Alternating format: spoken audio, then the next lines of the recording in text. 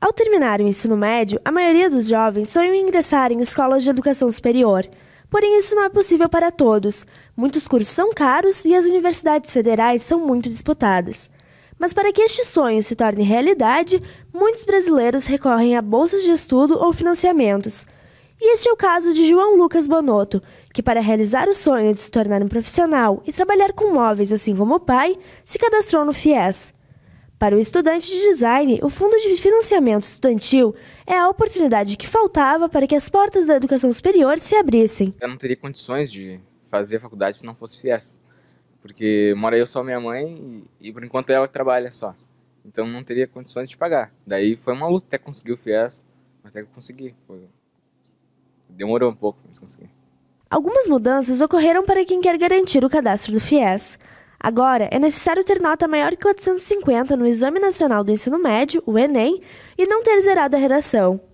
João tem 18 anos e está no primeiro semestre de faculdade. Para ele, as novas exigências para conseguir o financiamento não são muitas e vale a pena se esforçar. Não tanta burocracia, no mínimo 450 notas, 450 pontos no Enem, né? Que eu já tinha conseguido.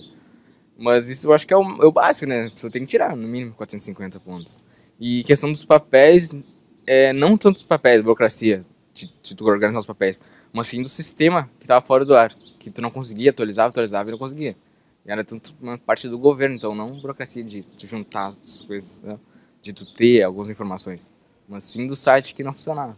O acadêmico conta que o mais difícil para conseguir o financiamento foi o cadastro feito no site do Ministério da Educação. Isso porque a página da web ficou fora do ar durante dias. E por isso João teve que persistir para conseguir a vaga. Mas nem todos tiveram a mesma sorte.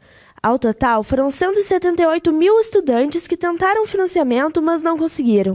Tive que juntar a renda da minha mãe, da de quem mora aqui em casa, né, da família, juntar toda a papelada de renda dos últimos três meses e levar na faculdade. Só que sempre faltava um papel, alguma coisa. Daí eu fui umas quatro, cinco vezes. Teve até um dia que eu tive que pegar um ônibus meio-dia e ficar lá até as duas da tarde esperando para a entrevista do FIES, tem que marcar o horário, né? Para entregar os papéis. Ainda não tinha dado.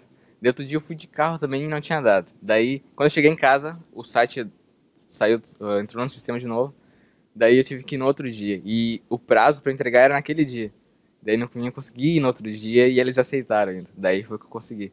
Agora a preocupação do estudante é saber se o dinheiro das duas primeiras mensalidades da universidade vai ser ressarcido. Ele afirma que a família teve que se apertar no início do semestre para cobrir as despesas com a faculdade. Tive que ir no banco, onde eles me, eles me deram o financiamento, no caso é no banco, né? Daí que eu, foi o mais simples no banco, eu pensei que ia demorar mais, onde eles conseguiram financiamento. Daí eu levei na faculdade, eles já botaram no sistema e já parou de vir mensalidade.